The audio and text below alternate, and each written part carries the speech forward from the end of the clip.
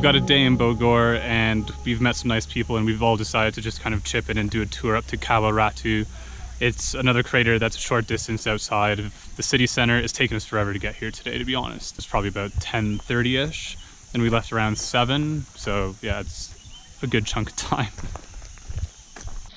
So it's going to be a two hour jungle hike and then we're going to reach the crater, the Queen Crater, Kawah Ratu. Yeah, I'm pretty excited.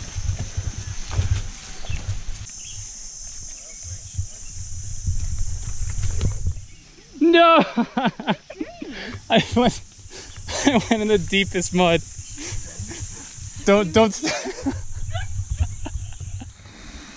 so the owner of our hostel said shit that this can be done in flip-flops. We decided not to wear flip-flops. We've got some really good sandals and our guide said that should be good enough, but we'll see. We'll see if we've made the right decision or not.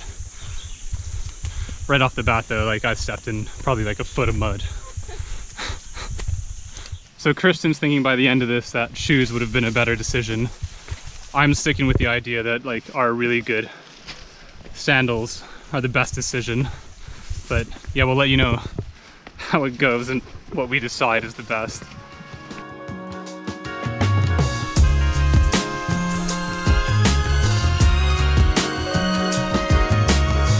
Wash off my foot,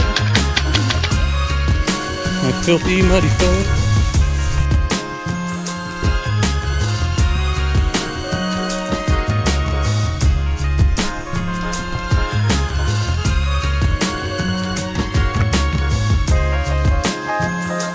Starts to get a little bit tighter here.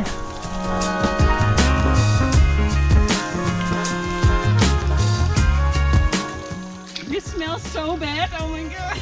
Yeah. Did you step on this one? Uh, no, I went to the slide for the next one, yeah. Yeah, yeah. I think sandals are winning here. Uh, yeah, maybe.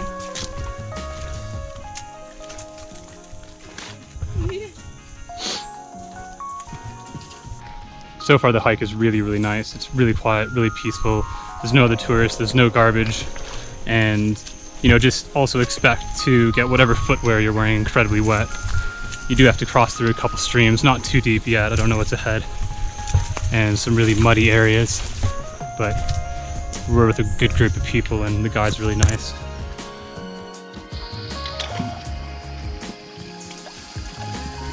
Yeah.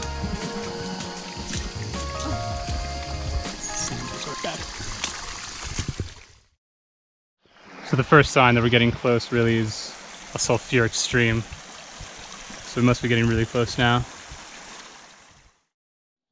This is kind of like a fake crater. I guess it's just where like excess gas gets released. Another volcano, kind of like a different different style. All the volcanoes here just kind of have their own personalities.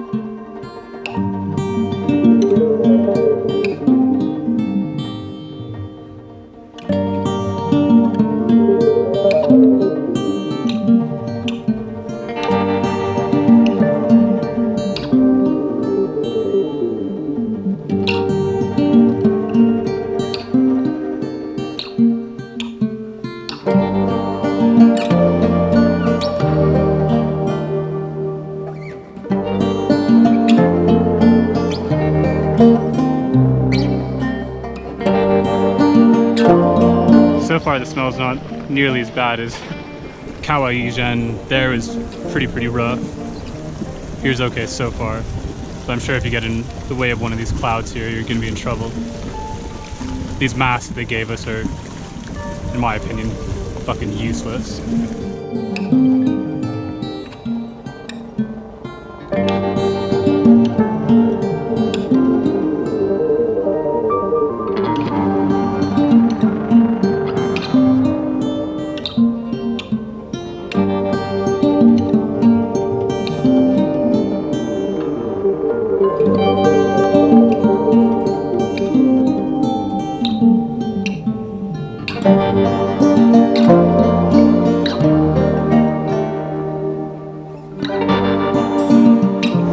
Interesting how each volcano has its own personality and just kind of look to it. And this one's really interesting for the fact that, you know, when we did Ijen and some of the other ones, we either weren't on the crater floor or when we were, it was nighttime and you couldn't really see anything. So being here during the daytime, it's really like you're on another planet.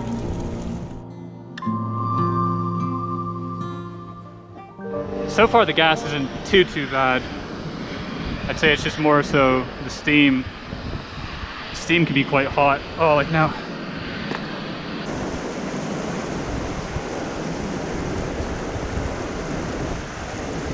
I need help, I'm short.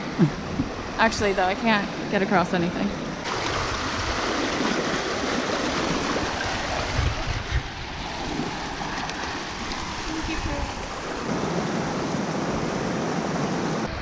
So after a bit of a look around, we're gonna go see something called the Black River. I actually don't know much about this.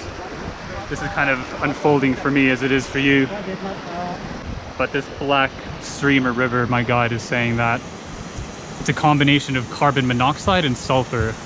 I don't know if that's true or not, but if someone else watches this and knows, I'm gonna read when I get back. Really makes us feel like we're on another planet right now. It's unreal, absolutely unreal. So time's done here. The gas wasn't really that bad here. There's some spots it was all right, but in true Shaya and Kristen fashion, the rain's on the way.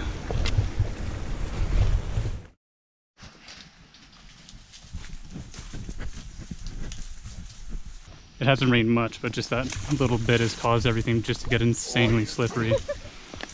But still pretty nice. It's a great temperature. It's not hot at all, just a little bit wet.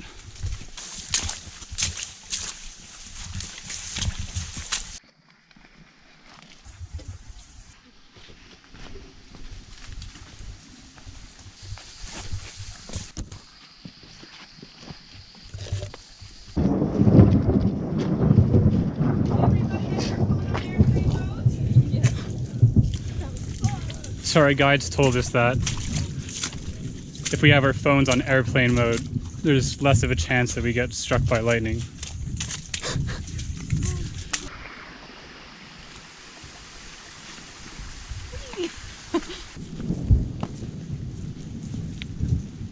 We're almost back. I hope we make it back before the rain really hits. So after a quick lunch break, we've come to a waterfall. Today's a public holiday though, so there's a lot of local tourists here. So yeah, we're all getting looked at. The girls are wearing their full clothes, which they're not really happy about. But it'll be nice to wash off, even if there are a couple people here.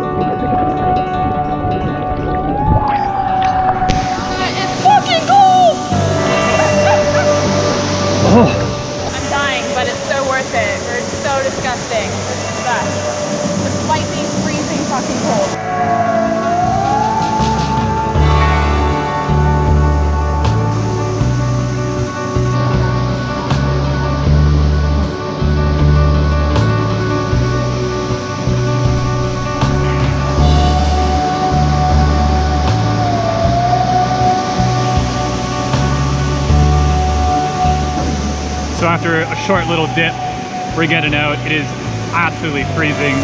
It's the coldest water we've had yet.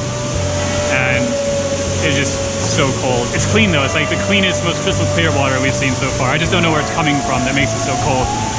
My nipples could cut glass. Our day in and around Kawah Ratu was far more enjoyable than we had first imagined.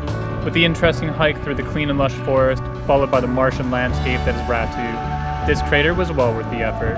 And to finish the day off with a refreshing waterfall was just the cherry on top. If you guys happen to find yourself in the area, we'd highly recommend adding this trip to your travel plans.